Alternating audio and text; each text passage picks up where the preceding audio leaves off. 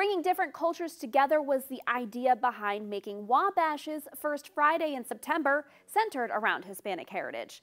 Hispanic members of the community say they're thrilled with Downtown Wabash Inc. encouraging diversity in the town. So it's really neat that they, being Downtown Wabash Inc., studied this and have brought in the people and they're all going to be concentrated in one area and people are going to learn a little bit more. Latino business owner Maria Smith is thrilled to be sharing her culture at Wabash's First Friday. Traditional dancing being one aspect.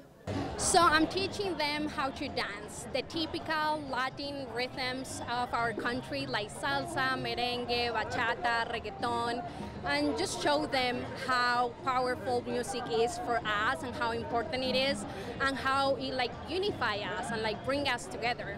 Bringing Hispanic culture to a typical United States event like First Friday is a simple way to share cultures.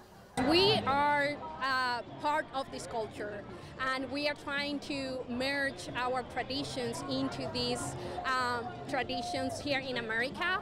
Um, so it's very important for us to share that because our culture is what makes us. Sharing the cultural importance of flowers is Emily Guerrero, founder of Mexica Arts, a way to share treasured traditions that were maintained by the Mexica's indigenous ancestors. We're telling the legend of the marigold that is called Cempasúchil, which has a lot of healing properties and a lot of magical properties to it, and I like telling the story of its origin.